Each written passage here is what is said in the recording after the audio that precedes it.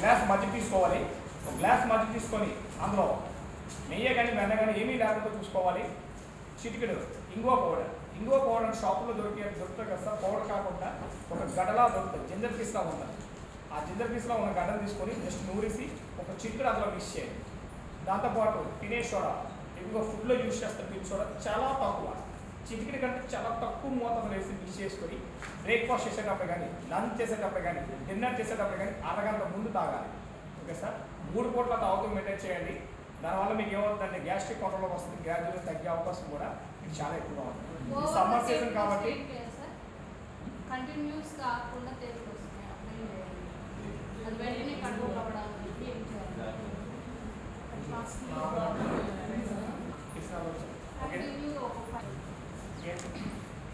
Next మూడు పూట్ల రోజు తాగుతున్నాను సార్. తాగుతుంటే గ్యాస్ట్రిక్ అనేది మీకు గ్రాడ్యువల్గా కంట్రోల్ చేస్తుంది.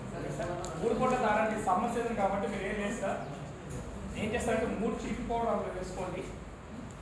అంటే జనరల్గా మీకు త్రీ టైమ్స్ తాగడం లేదు. మూడు చిల్లీ పౌడర్ వేసుకొని అండ్ తినేశ్వర కూడా కొంచెం చిటికలు వేసుకుంటే మూడింటికి సరిపోద్ది ఆ విధంగా మీరు త్రీ టైమ్స్ ఒక గ్లాస్ తీసుకుంటే ఓకే సార్?